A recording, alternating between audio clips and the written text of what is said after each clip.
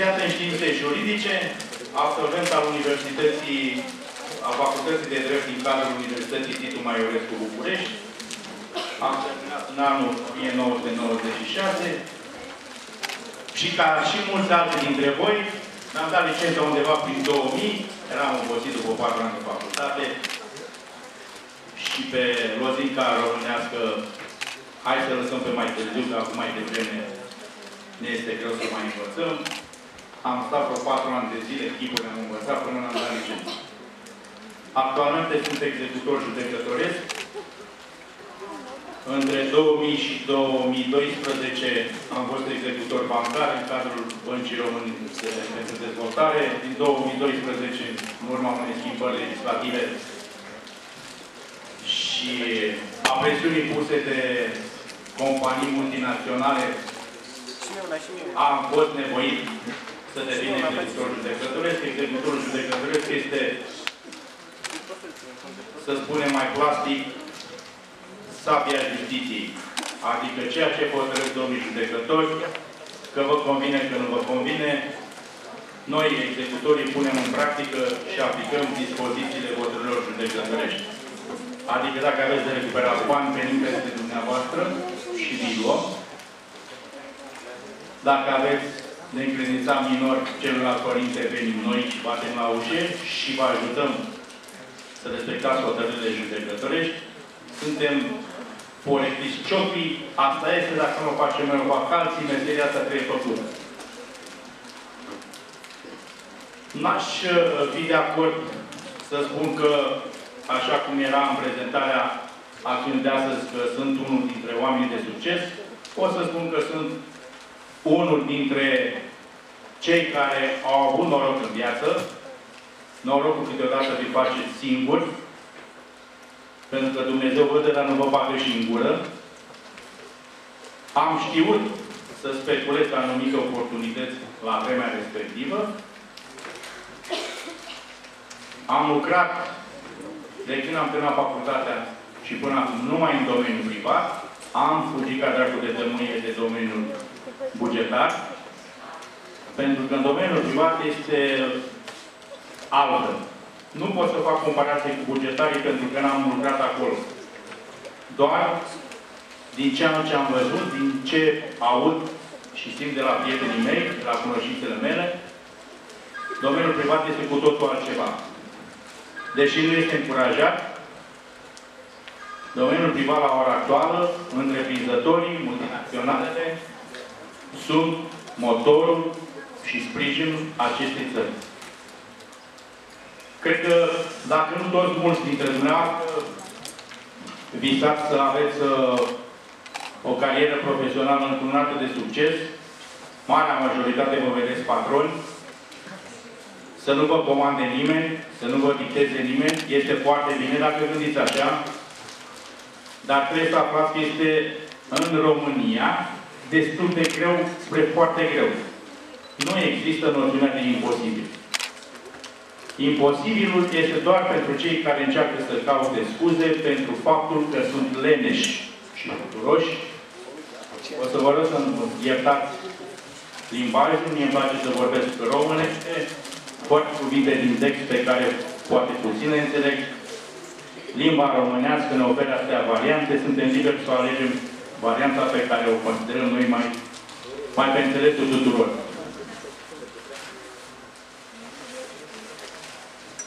Ca să fii un întreprinzător în România, întâi de toate trebuie să se asumi riscuri.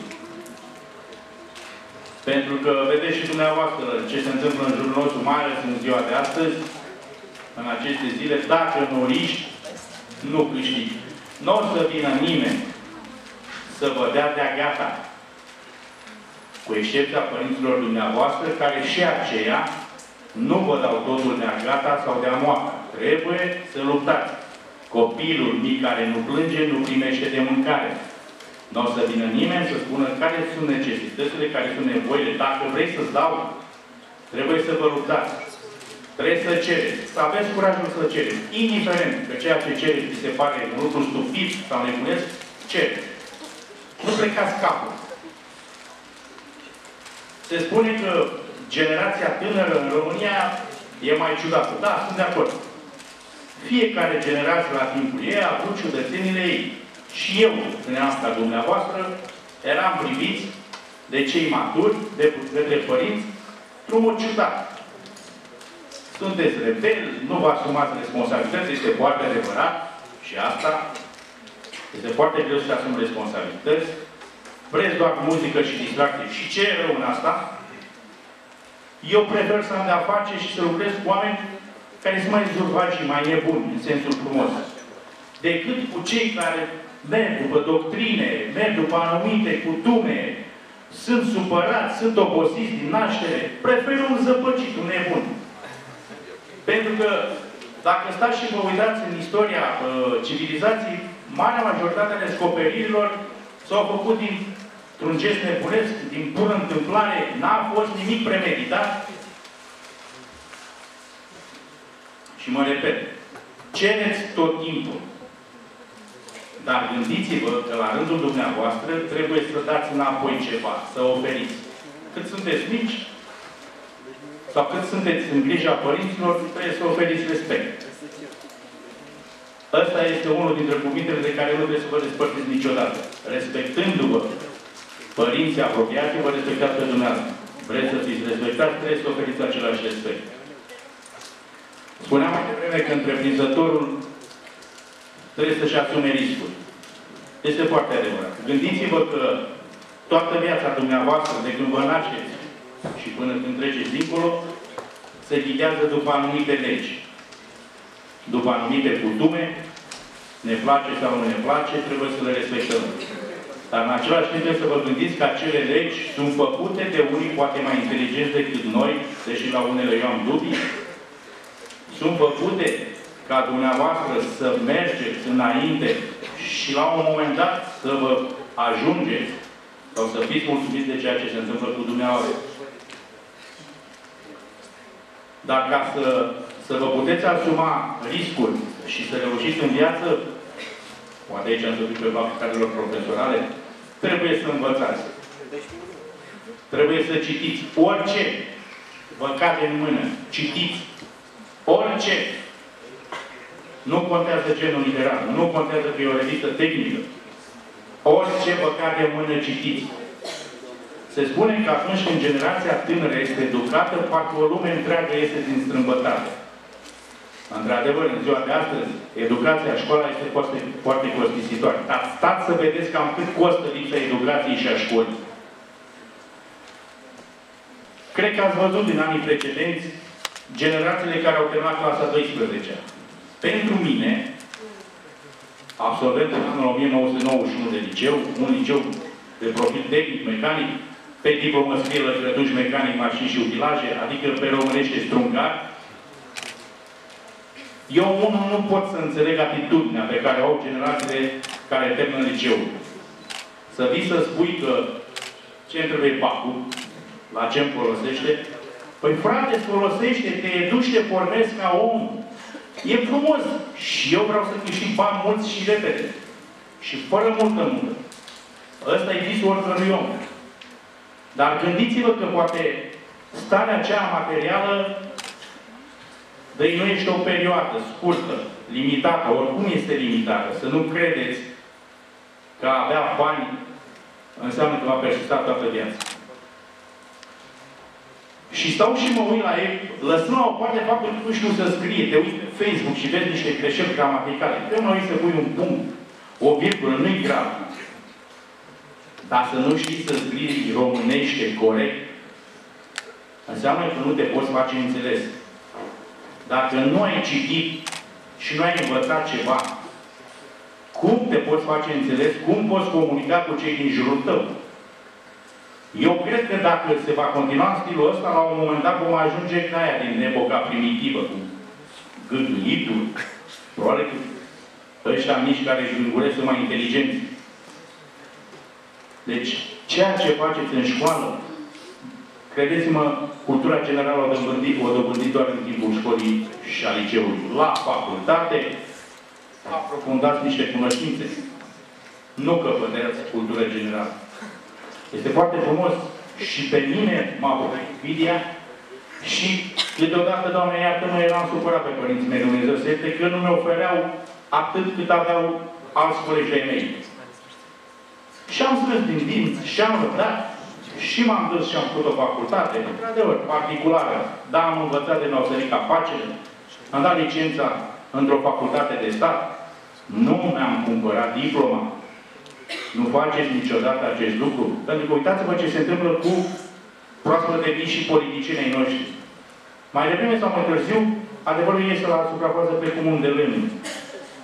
Dacă vreți să fiți catalogați la un moment dat, uite-l sau uite-o, aia e o față, o plagiatoare, trebuie să existe și să păstrați sentimentul de jenă și de rușine. Gândiți-vă că ceea ce faceți voi poate deranjează pe ceilalți de lângă voi. Ce ție nu-ți place, altul nu-i face.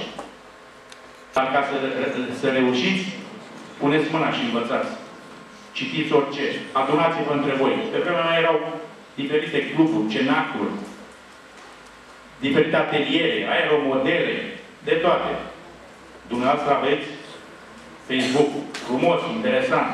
Aveți lucruri pe care generația mea și multe generații după mine nu le-au avut. Aveți informații pe care noi nici nu îndrăzneam să le visăm. Ne uitam în reviste străine de desene animate colorate, Rahan, Pip și Hercule, luate pe sub mână, bagajul de informații de care beneficiați la ora actuală pentru voi, ca români, și vă spun pe cuvântul meu de onoare, că puteți profita la maxim și să depășiți cu foarte mult țări din jurul nostru. Avem o chestie în genă, avem o chestie neam, suntem mai isteți. Asta este. Problema noastră este că nu știm să profităm de aceste lucruri, de aceste avantaje. Locuim într-o țară care are toate formele de relief. Profitați de aceste lucruri. Sunteți turceni, marea majoritate bănuiesc. Da? Turcia probabil că este singurul județ din țară care are toate formele de relief. Nu vă gândiți că puteți câștiga bani doar din avocatură, uh, executori, medici, directori. Sunt domenii în acest oraș, în acest județ, care pot fi exploatate la maxim. Piscicultura, pescuitul. Aveți o mulțime de oportunități. Totul depinde de voi, dacă vreți. Dacă vreți să faceți ceva cu viața voastră, dacă vreți ca părinții și copiii voștri să fie mândri de voi, trebuie să fiți inovativi, să vă asumați discurs, să aveți inițiativă. Întreprinzătorul este persoana care îi place să, să aibă bunăstare. Într-adevăr, a fi întreprinzător, hai să spunem pe românește patron, da? E ok. Din punct de vedere financiar, e multe satisfacții. Dar pentru toate acele satisfacții materiale, trebuie să depuneți foarte multe efort să vă educați, nu neapărat citim la școală, învățând. Trebuie să studiați continuu. Una la mână, ca să vă ajute să profesați, să performați în meseria sau activitatea pe care vă doriți, pentru că dacă nu știți legea, nimeni nu vă iartă, și mai e un motiv pentru care trebuie să vă educați, să fiți instruiți, să vă perfecționați continuu. Mulți dintre dumneavoastră se vor căsători și vor avea copii. Și veți ajunge în situația în care ei vor crește și vă vor pune întrebări. Da, aia de ce? Da, aia de ce? Și atunci ar putea să, să te pască riscul că dacă ți-a plăcut toată tinerețea ta să fii un coltec, să nu te doare capul, să n-ai responsabilități, să te hrănească mama și tata, când începe copilul și spune întrebări, s-ar putea să fii pus în posibilitatea de a nu-i putea răspunde.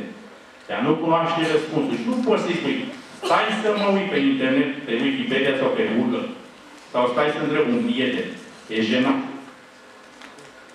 Educația voastră, cât veți dori să vă educați, vă va da atâta putere pe cât veți dori să o aveți. Să spunem că fiecare dintre noi avem atâta putere cât dorim. Sau cât ne dorim să avem. Trăiți în România, bun, mulți vor spune și asta ne ocupă tot timpul, este foarte frumos, sau poate nu știu, dacă este interesant această răzincă. E greu, dar doar cu eforturi susținute veți reuși să faceți ceva în viață. Mul, nu mulți dintre dumneavoastră vor reuși. Este clar. Este un proverb care spune eu domn, tu domn, sau eu director, tu director, cine m-a maneti duce gunoiul. Nu toți veți reuși să terminați facultăți. Nu e o tragedie. Eu am descris prieteni care nu au facultăți și au business-uri care le oferă tot ceea ce își doresc de la viață. Sunt foarte mulți care au terminat facultăți și n-au știut să performeze în domeniul privat. Asta e. Mulți chemați puțin aleși. Intră cine vrea, este cine poate la sfârșit. Nu e obligatoriu că dacă aveți o diplomă de liceu sau de facultate, vă garantează succesul în viață. Doamne ferește! Sunt mulți care fac studii și își pun diploma în pui, în ramă, ce frumos arată. Pun și ce faci cu ea. Probabil că aveți mulți dintre dumneavoastră unchi, mătuși sau bunici în vârstă, care pe vremea aia nu era foarte multă școală, care au reușit într-un fel în viață. Pentru că noi avem o chestie care se numește inteligență nativă, istețime.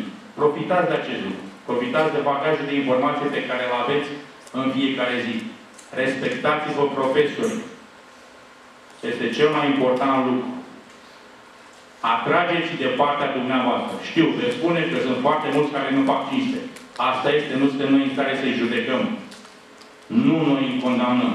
Dacă și noi, sau dacă și dumneavoastră elegii v-ați comporta altfel, probabil că atitudinea lor față de noastră ar fi alta. Nu există pădure fără uscăciuni. Astfel de exemplare umane și profesori și elevi trebuie depărtați sau izolați-vă de ei.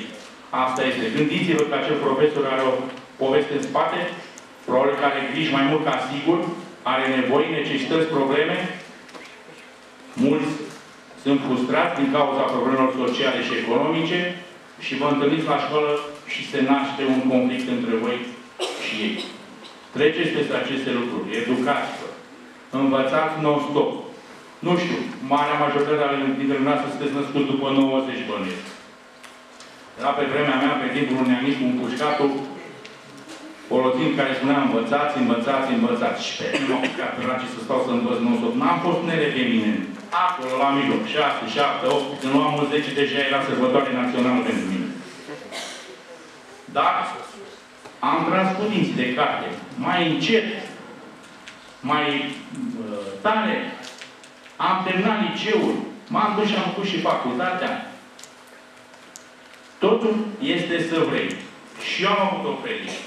Și sunt și astăzi opreliști și bariere. Asta este. Trecem mai departe. E greu. Nu știu ce se întâmplă, dar parcă în ultima perioadă este din ce în ce mai greu. Dar sper că datorită evenimentelor din ultima vreme și cu ajutorul vostru, care sunteți mai curați decât noi, sunteți mai liberi, nu aveți obligațiile noastre familiale, vă puteți risca mai mult decât noi, să faceți ca lucrurile să, să se îndrepte. Tot ceea ce se întâmplă în viața dumneavoastră vi se datorează și depinde în totalitate de dumneavoastră. Cuvântul imposibil nu trebuie să existe în vocabularul vostru. Întotdeauna trebuie să existe o șansă pentru ceea ce vă doriți. Trebuie să existe o rezolvare pentru orice problemă pe care o întâlniți. Gândiți-vă că sunt atâtea exemple de oameni handicapați fizic care au reușit în viață. Gândiți-vă că sunt atâția sportivi paralimpici. Da? Și aceia care nu au o mână, nu au un picior sau nu văd, fac atâtea lucruri extraordinare pentru un om normal și întreg la trup. Respectivele persoane reușesc pentru că vor sunt ambițioase. Dau și mă uit la voi și vreau să vă întreb, câți dintre voi ați venit din proprie inițiativă și câți ați venit ca să iubiți de la școală sau să vi se treacă în catalog? Restul n-aveți curaj să ridicați mâna sau pot să cred că sunteți aduși cu forța. Nu fiți timizi. Lăsați rușinea la o parte. Păi la care dintre cele două întrebări? Dacă am venit proprie inițiativă sau dacă am venit să cheltuim la sau? Pentru care ridică mâna? Păi tu cred că nu ești de ce să ne ridicăm mâna. Păi eu inițial am ridicat pentru că am venit proprie inițiativă. Bun, cam puțin. Da, și eu, și eu. Hai din nou, ridică mâna. E, e, așa da, așa da. Dar de unde va veni curajul? Nu vă mănâncă nimeni.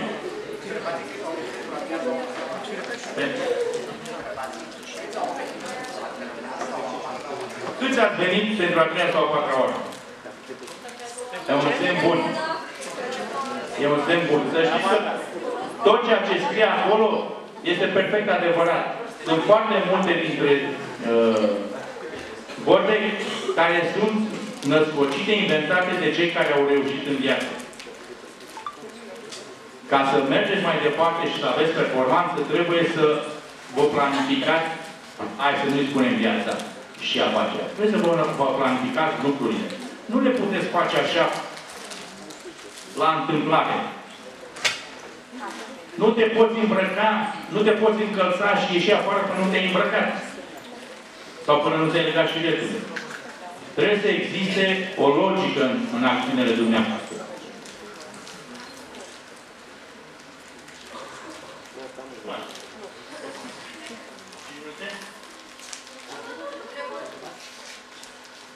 Nu știu câți dintre voi ați auzit de Tudor Chiril.